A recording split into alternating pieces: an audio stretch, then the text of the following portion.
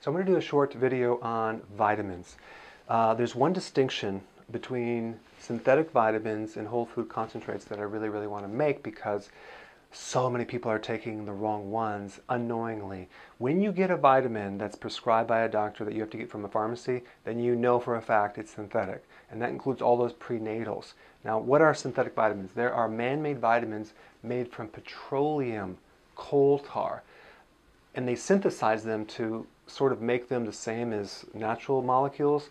But what, what's missing is that in nature, nothing comes in these fractionated individual parts of vitamins. In nature, you always have the whole complex of vitamins. Um, and not in high amounts, in very small amounts. So even though you have high potency vitamins that are synthetic, the reason why your urine is so yellow is because you're just peeing it out because it's almost toxic to your body. The only benefit of synthetic vitamins is a short-term use, maybe doing a detox, but that's it. You never want to take them long-term. Now, I'm not even saying focus on natural vitamins. I'm saying focus on whole food concentrates. And you have to look on the label and read the ingredients. Where does it come from? If you cannot pronounce the chemical, then we know it's made from synthetics. So let's just take vitamin C complex. In nature, vitamin C comes with, with multiple parts. We have ascorbic acid, that's the antioxidant portion. And that's so funny because antioxidants really are the inactive part of the vitamin C complex. They're not the active part. They don't really, they're like the eggshell to the egg. They're like the banana peel to the banana. Um, they're there to protect the guts of that um, vitamin, but most people think that this is the active portion and they take it in high amounts and think they're getting some benefits. Um, let me just tell you the, the only benefit you would get if you were, had a cold or something with the acidic nature, the acidifying nature of ascorbic acid, because when you make the body more acid when you're sick, it tends to increase, help the immune system fight this thing off better. But you'd be better off taking apple cider vinegar, not ascorbic acid, because when you take high amounts of synthetic vitamins, it tends to deplete the other associated parts that normally come with that vitamin complex. And that's why too much ascorbic acid, you end up with bleeding gums, spider veins. That's the side effect. Um, why?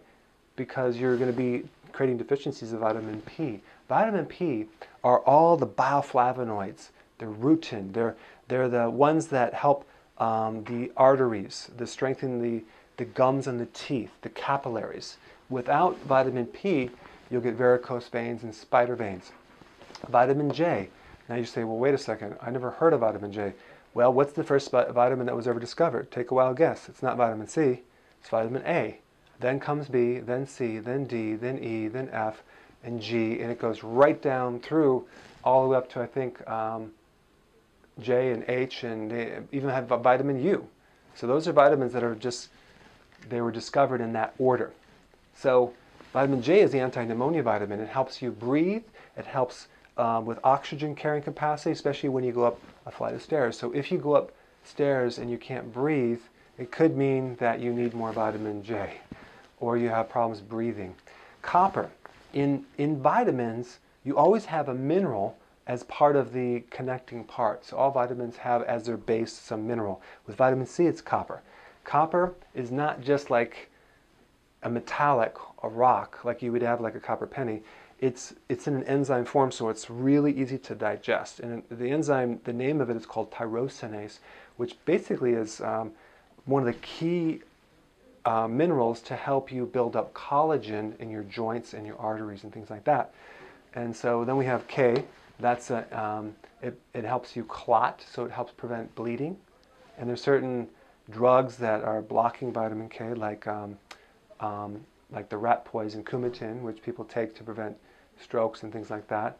So you can't, they can't really consume much of vitamin K vegetables. But the point is that what you want to do is you want to look for vitamins that come in their whole complex um, parts, not as a synthetic you want to avoid the synthetics, and because the synthetic vitamin C is made from cornstarch, which by the way has no vitamin C, and sulfuric acid. Those two things. It's kind of weird that you're getting vitamin C without, without a raw material that comes from vitamin C or has vitamin C in it. but that's how they make it. It's cornstarch and sulfuric acid. What's the bottom line? Only ever consume food or whole food concentrates and you'll stay out of trouble.